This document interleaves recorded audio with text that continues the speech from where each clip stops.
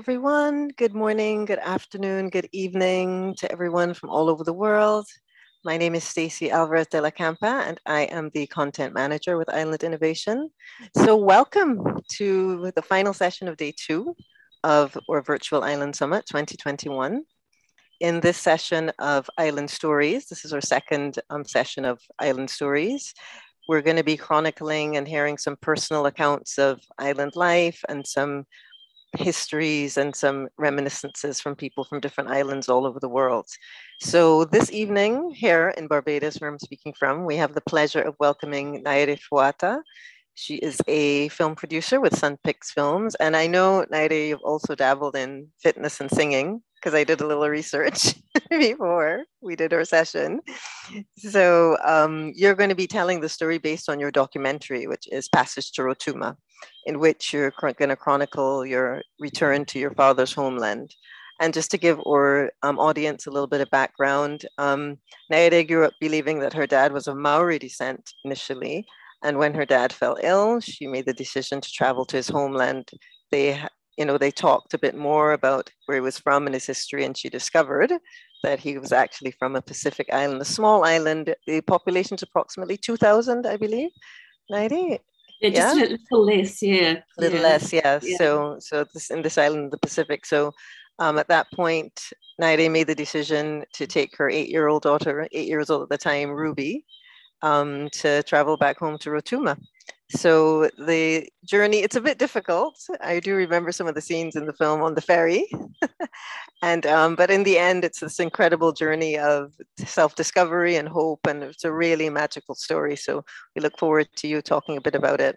Um, just some housekeeping before we go into everything. So, you know, welcome to everyone. Please, in the chat, you can introduce yourself. You can say where you're from. Just make sure that in the drop-down menu, you put that, you know, the chat is to everyone because it does tend to default to hosts only. And um, the webinar is, this is going to be live streamed on Facebook and YouTube. And if you have any questions, please feel free to use the question and answer um, function, and I will be looking to curate them and, you know, try to ask your questions to Ngaire at some point after her presentation. So without further ado, Ngaire, over to you. We'll be listening to your presentation. I look forward to it. Kia ora koutou katoa, no ia te. Um, thank you so much for having me on this Virtual Island Summit, and it's such a privilege to once again share my story um, about my ancestral home of Rotuma. Um, as, you know, as I've been introduced, I'm a producer, and usually I'm behind the scenes. But in 2010, I um, shared my experience on screen of going to the island of Rotuma, and it was deeply personal. But I realised in my work, um, we so often ask people to share their stories, and as I didn't want to ask things of people I wasn't prepared to do myself, I thought yes, I better get I, I, better get on that wagon as well. And that's how Salat se Rotuma came to be. Um, I don't have any slides, but I will have some moving images in, um, in the background um, as I talk along. You know, growing up away from my heritage has been um, a very long and slow journey of discovering my identity. Um, being born in England um, to a Dutch mother and a Rotuman father was a very different environment and meant the only way um, I could understand that heritage was through them. And um, in Rotuma, you're given, uh, uh, your name is significant. You're usually named after someone, and then they would become your singoa, which is kind of like um, being a godparent. Um, my mother initially thought my father was Maori, as mentioned, and because he'd lived in New Zealand and often talked about it. But when they were married um, and started a family, they decided to name us Maori names, um, and my mother had this very small dictionary, Maori dictionary. So she found the, the name Tiara for my older sister, and then my name, Ngaire. Um, and it was also, I was also named after a New Zealand actress who was living in, in England at the time, Nori, Nyree Dawn Porter, and Muringa, which means the last child. And I always joke with my sisters that being the middle child, um, I was actually the only planned one. My sister was born four months after my parents were married, and my younger sister, we always say, was a surprise. Um, I ended up being the one with the curly hair and the more prominent Polynesian features. And I was also given the middle name Moana. And we know that Moana uh, means the ocean and the sea. And we all know the Disney version Moana, the legend, the young Polynesian girl that wanted to explore the world. Um, I think from the outset, with my close relationship with my father, I was always going to be that one that would end up being very involved in Maori and Pacific communities and connecting with these communities and discovering where I fit in all of this. So, you know, when dad um, left, was in New Zealand in the 50s, and he was going to be a priest. And then he decided he wasn't. So he went to the UK to be, study to become a teacher. Um, and that's where he met mum. And after so many years, he, just, he managed to convince mum to come to New Zealand. And during that time, um, we arrived in 1973, which I'm not sure if you're familiar with. The dawn raids were happening here um, with Pacific families to find overstayers. So it was a really racially turbulent time that we walked into. And um, it really wasn't the New Zealand that my father had remembered. Um, growing up with uh, very few Rotumans in New Zealand and not living in Auckland, where the majority of Pacific communities live, because we grew up in Whakatane, which is in the Eastern Bay of Plenty. Um, Dad did manage to connect with his family in Fiji. And so my sisters and I went to Fiji in the early 80s for the first time. And that was the first time we had any connection with um, Rotuman people um, and our family. And, you know, even then, we thought going to Rotuma was really difficult.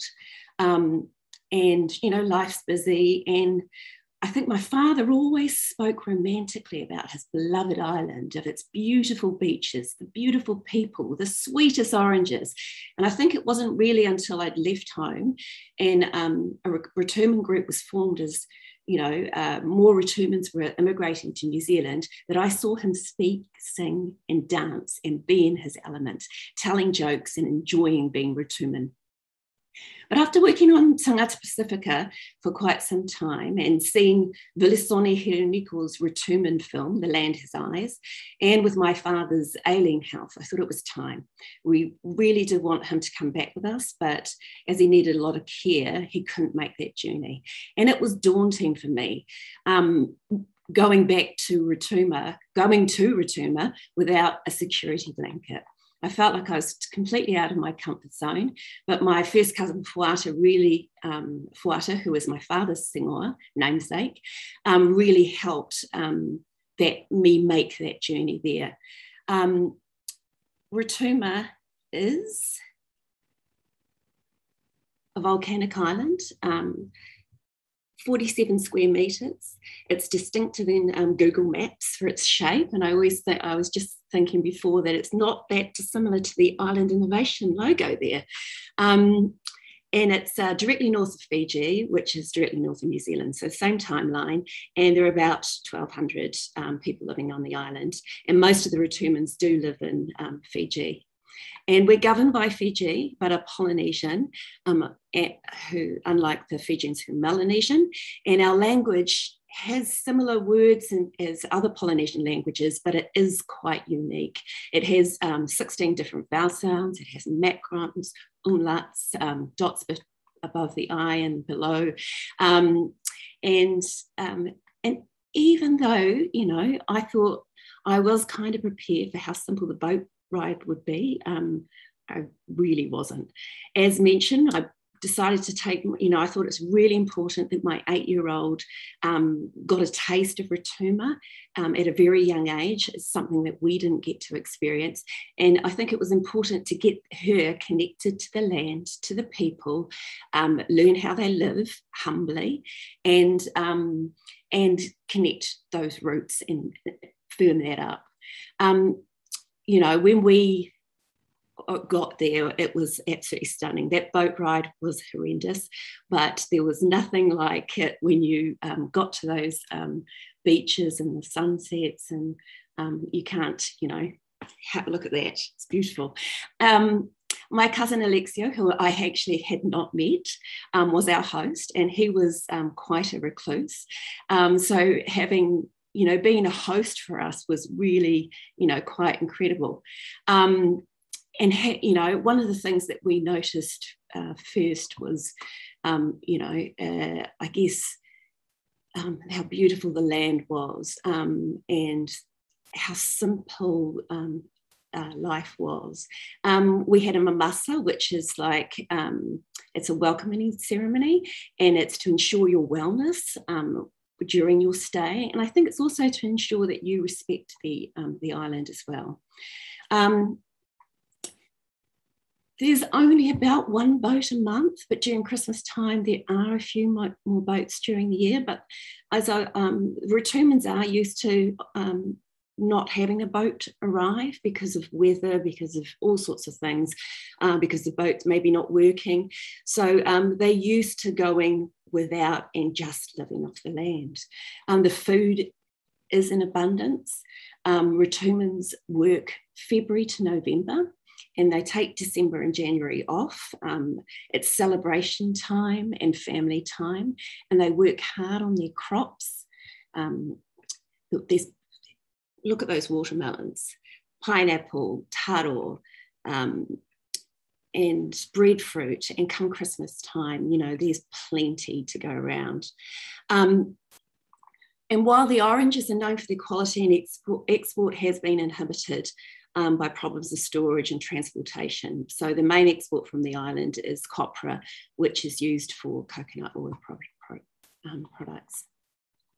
I have to, um, some Rotumans will hate that I've mentioned this, but we're also nicknamed the, the which is Rotuman for biscuit, because after the explorers came with biscuits, the Rotumans loved them so much that they planted them thinking that they would grow. And while it's often a joke, I like to think of it as being innovative and thinking about the future and trying to feed the majority.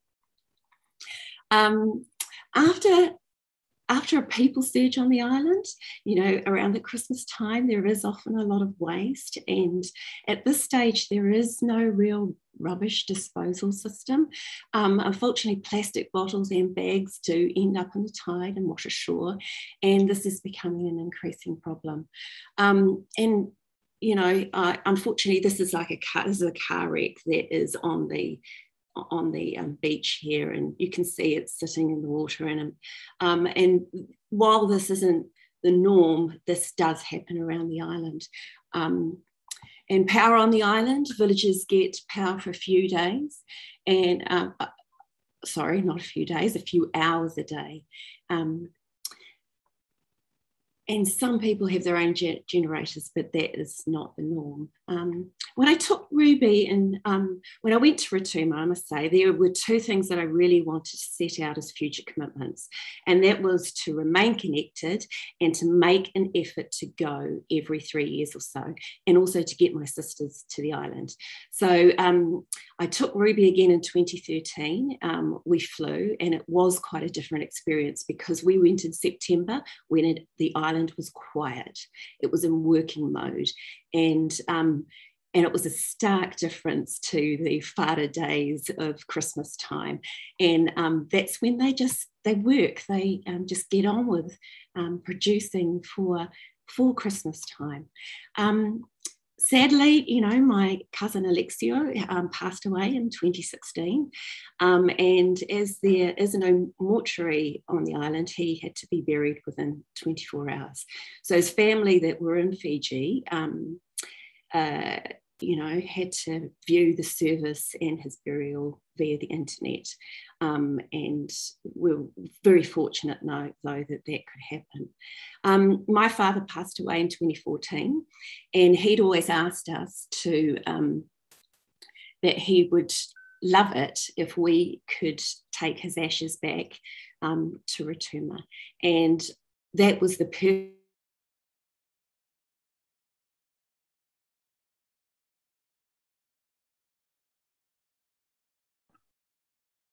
Apologies, everyone. It seems like a technical interruption. Hopefully, Ngaire will be back. Oh, I dropped out. Sorry. There we go. You're back. Go ahead. I'm back. It could be my dodgy internet and um, some bad weather. Um, but anyway, but that was a really good excuse to get my sisters over there. And um, and so uh, they had an incredible experience. And for me, it was. Um, it was wonderful for Ruby to, to be able to show her cousins around the island. Um, and, you know, I think he would have been so happy. It was a beautiful experience. And um, um, my mother now um, has said that when she passes away, she wants us to take her ashes back to Rotuma so she can be with her husband. Um, yeah, so I guess that's um, that's probably a, an overview of what's happened so far. Oh, other than that, I do want to mention that New Zealand last year recognised the Rotuman language, and we've become one of nine Pacific languages that have a celebration week here. And uh, you know, I'm really proud of our New Zealand Rotuman communities that lobbied really hard for this. And I think in the diaspora, the language retention is always threatened. Um, so, you know, it's kind of one of those things that I wished my father had spoken more Rotuman in the household. But this year, I did make a commitment to do a beginner's course in Rotuman. So um, I did share that story too um, online, and um, that's been an incredible way of connecting even deeper to the island so that I can understand. I understand far more through language as well now, and um, and I think it's just defines who we are as Rotumans.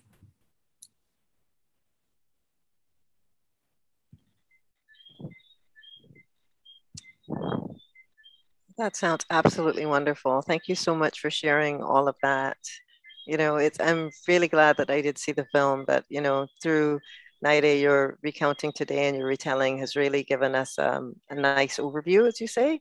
And I think it's brought us all with a deeper understanding of what it did mean for you to have that reconnection with your heritage and with where you came from.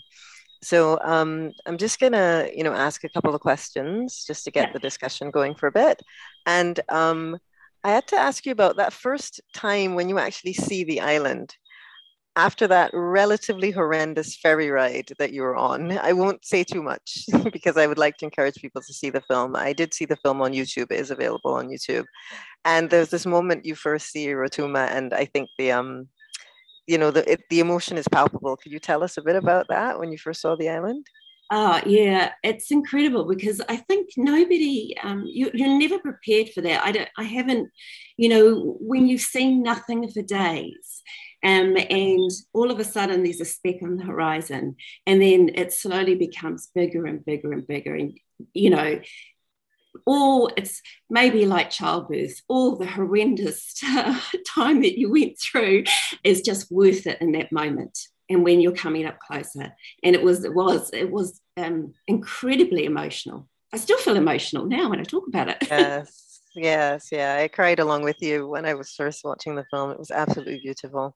So, you know, and speaking of that homecoming, I could see it seemed as if there was a there were two journeys happening. There was a literal and a figurative journey. It seemed as if you were on your journey, but that was also an inner journey towards, I think, kind of a sense of affirmation for yourself. I did sense in the film your your strong need to connect with who you are and your your sense of self. And I thought it was you mentioned that you know ruby was with you how how was your relationship with ruby you know affected by that trip back to rotuma oh i you know i think our relationship is you know we're close because she is my only child.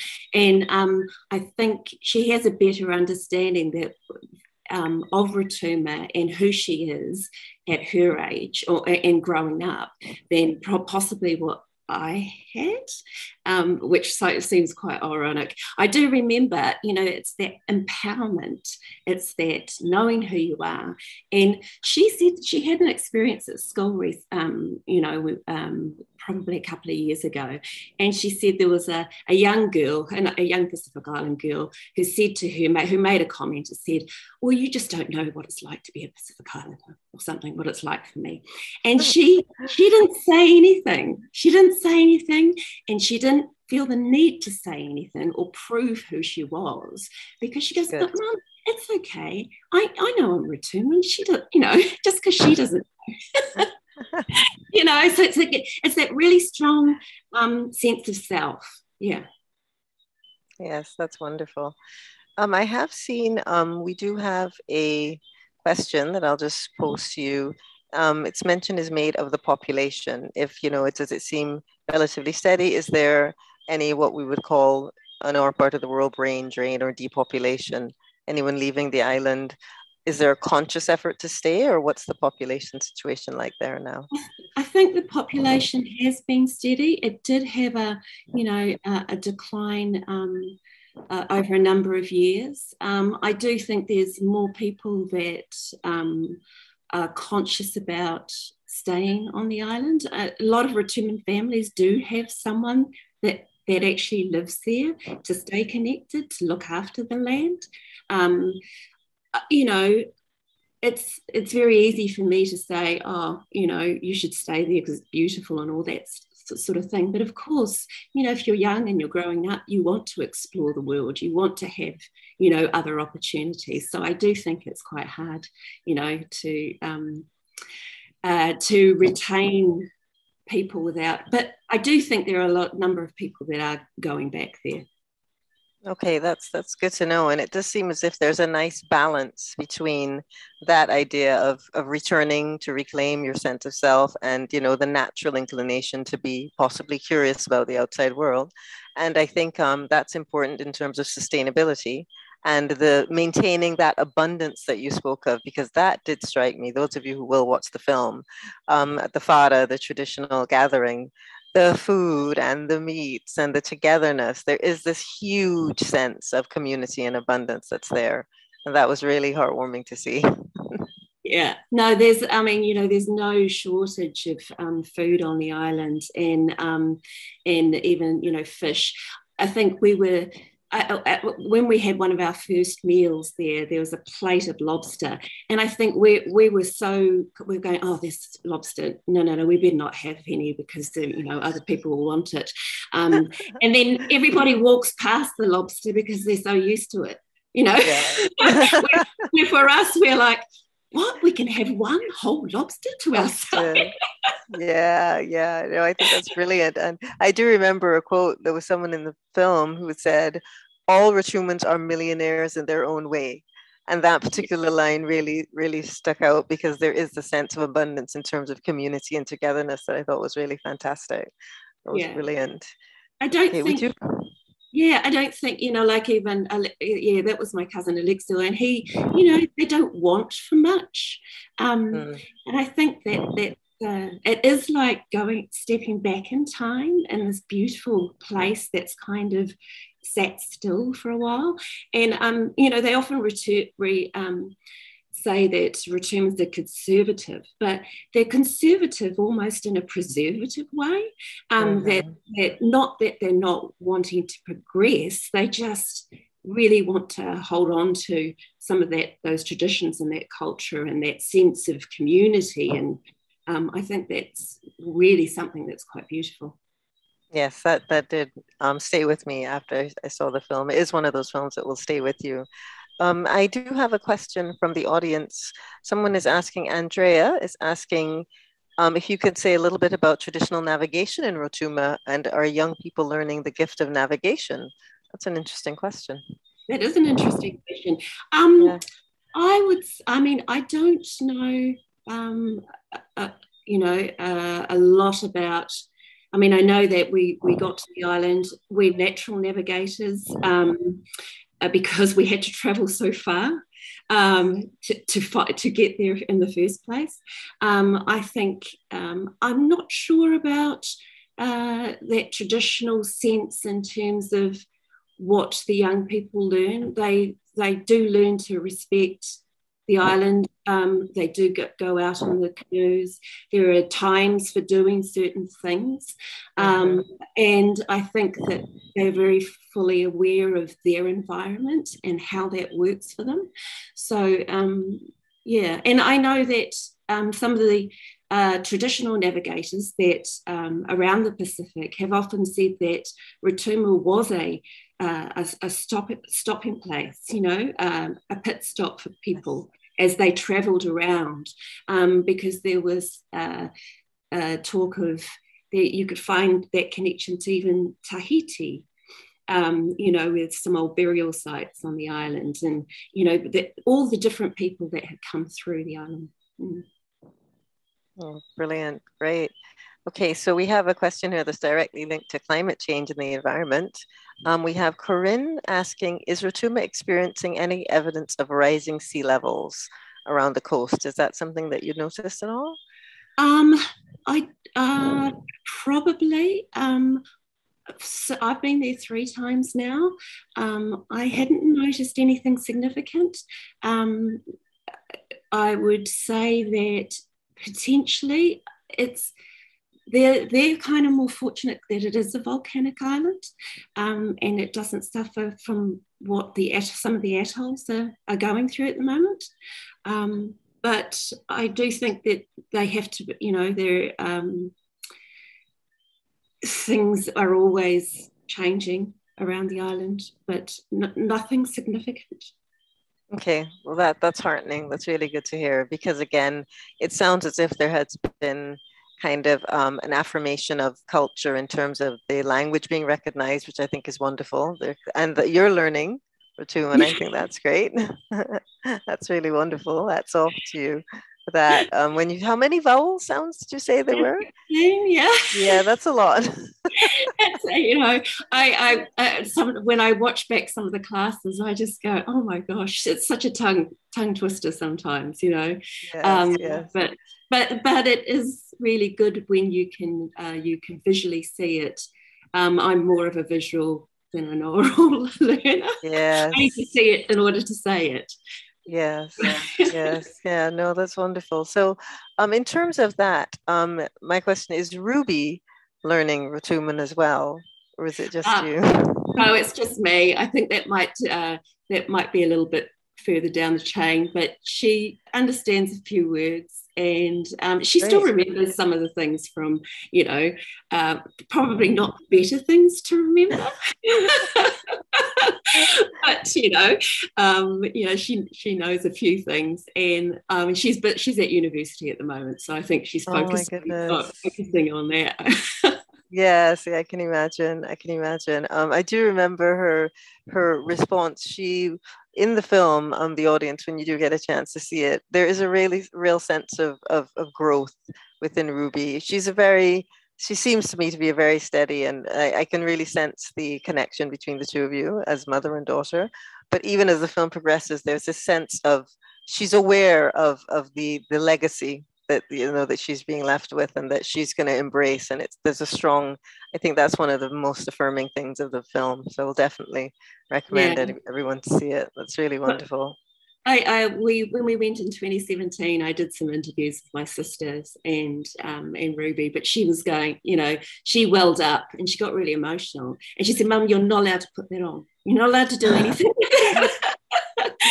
it it was it was not until I'd had that conversation with her and she did get really emotional that I realized how connected she was, you know, as I think, or even more as connected as, as even she possibly realized. Yes, yes, that's great. Well, I'm going to give a shout out to some of the people watching. I can see people are here from watching from Edmonton, Canada, although they're also Nigerian.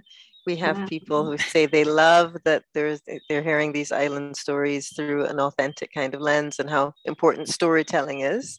Um, we have comments that everyone says that it's such an inspiring thing to read and how beautiful it is that you've you know you did make the efforts to to make that journey when your dad fell ill. So i do sense that and someone else is saying it's a lovely story and it's told from the heart so I think all around you're you're garnering some some you know more fans. And someone from Maryland, USA says that you rock.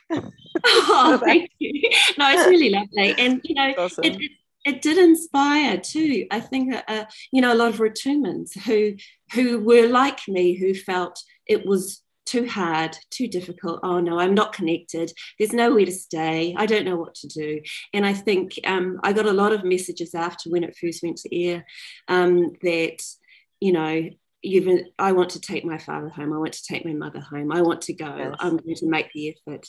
And I do think, you know, that um, that that's been one of the wonderful um, I guess uh, benefits of sharing a story that you know you can you can let others know that you can do it too you know exactly Exactly. And it's interesting you do say that because we, in our very first installment of our island stories, we did have um, one of our speakers was from um, a group called Chagosian Voices.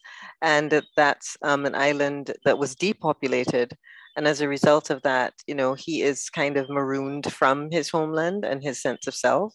So it's been interesting that we've had these two sessions back to back where we can see your story and your voice lends his story even more resonance and even more relevance. So we really appreciate that we've gotten the chance to, to have a chat with you. This is fantastic. So yeah. so we have to hear more from you. Ngaire. this can't this can't be the last time that we chat together here I'm going to see, you know, we have some other questions in our in our um, question and answer box. And um, this is an interesting question from Tom, um, because I actually love surfing myself. And Tom is asking, do any visiting surfers come through Rotuma? Uh, well, there have been a few surfers. Now, there's a um, in the in the documentary, we t- I spoke to um, uh, a young uh, woman who was based in America, but she, you know, she's returned she travels back. Mm, yes. Her and her partner came back with their surfboards and they would walk probably about 5K every day. Um, they're in fact 10K maybe with their surfboards to go surfing. Yes, I can relate to that. I'm a surfer myself, so I know there's you always make that sacrifice to find the right surf break, right, and you know at the, at your right spot, and it's often like a kind of a closely guarded secret yeah. when you find the your your surf break. Yeah, so so it yeah. becomes a bit territorial. So I can imagine. Yeah. Yeah, and you can, you know, there are only certain places you can do that to around the island because of the reef. So yeah, yeah, I can imagine. Okay, we have other questions on a more practical level. Someone's asking, Rogelio is asking, how do you ensure adequate supply of drinking water? Do you use rainwater? What kind of, how is the drinking water they have, situation? Yeah, I think that what they do is they do use a lot of bottled water, which of course, you know, creates the mm. plastic. Um, but they, um, some some areas I know that where we, when we went back last time, you could drink. They treated some of the water, um, okay. but um, but generally they boil. Yes. Okay. Boil, okay, boil. Awesome. And there's some rotumans. You know, it's it's like when you if you go to the islands, if you go to Samoa, you know, you, wouldn't drink the water, but some people, the Samoans, do because they're just used to it. They don't have okay. the they don't have the yeah the issues that um, visitors have. Okay, awesome. And we also have a question from Alex. He's asking, are there any key conservation or climate adaptation projects? Like, do you find that generally, you know, Rotuma is a bit more isolated from that kind of thing, or is there a sense of, you know, people coming to to check on what conservation is like on the island? Yeah, I think um, they probably could um, uh, they could probably do with a little bit more of that. Um, I do know okay. that um, you know, as we said, you know, there's only power for three hours a day. They were trying to set up a lot of the villages with, um, you know, um, solar power systems. Um, they, and I think, you know, it, it, the one of the biggest things for me was that whole the rubbish, the disposal. You know, yes, yes. You know, if we go to an island here or some sort of uh, reserve you have to you go in and you come out with your rubbish. Um, and it's almost like it it would be wonderful if you go to Rotuma on the boat and then you're able to take your rubbish back with you or so, you know which doesn't quite necessarily happen yet. I mean it would be great to see less plastic use mm-hmm, there. mm-hmm. yes um, yes yes.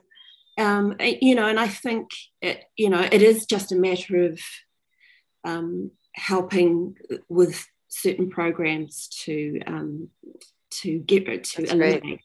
those issues. That's great. That's great. Well, I will say that it is really wonderful your general message of going back and making that that journey in terms of the the reconnection. It sends a message about the importance of, to an extent, the reconnection of the diaspora to to where you're from, and the fact that this really, you know, it can only be positive and then if this kind of connection becomes something that's intergenerational as we saw with with with ruby um, i think that's something that really is extremely extremely inspirational and I really was so I felt so privileged to see the film. And at first I was like, how come I never heard of this film? I was really, really glad to see it. And I, you know, I, am hoping that that everyone watching this evening will, you know, take the time to see it. So thank you so, thank you so, so much for spending this time with us here today, Ngaire. We really appreciate it. And as I said, I, I will try be in touch with you for sure. I need to come and find a nice surf break in Rotuma. I think I'm going to put that on my bucket list for sure. So thank you. Thank you so much. And we're having a lot of people say thanks so much for your thank time. You. Thanks. thank you. Okay. Bye, everyone. Bye. Bye bye.